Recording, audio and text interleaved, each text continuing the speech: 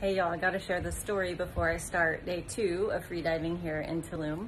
So yesterday um, I went down, it was maybe about 30 feet, came up um, after having some really intense diaphragm contractions, came up and just this welling up of emotion came over and I just started bawling, crying and my body just started shaking and just releasing so much. And um, as I was shaking, it went on for several minutes and um, it was quite intense.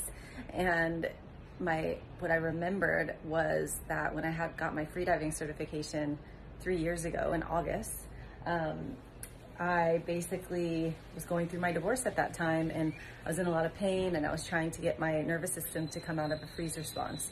And so it was like, and I haven't, you know, I mermaid around all the time in Kauai, but I don't, I don't, um, go for depth like that when I'm in a full wetsuit and like going down the rope and I hadn't done that since that time. And so, so interesting. It's just, a, I wanted to share it because it's just an example of how the body keeps score and we can do, you know, all of the meditation and breath work and all the stuff we want, but you get the body in the right scenario, it can remember, can remember, and it will take you there to release whatever needs to be released.